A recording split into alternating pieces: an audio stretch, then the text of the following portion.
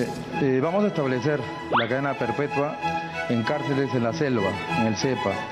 Tolerancia cero para la corrupción. La Policía Nacional será equipada con motos alquiladas. Borraremos las leyes caviares comunistas para defender a nuestra policía y Fuerza Armada del abuso y persecución de jueces civiles como ocurre actualmente. Muchas gracias. En primer lugar, quiero decir que, que me parece increíble que hayan candidatos que estén leyendo sus propuestas de temas tan importantes. La verdad es que es una falta de respeto a todos ustedes y a todos los peruanos que nos están escuchando. Estamos viviendo una crisis, la gente se está muriendo, la gente no tiene chamba y tenemos candidatos que están leyendo un documento. No friegue.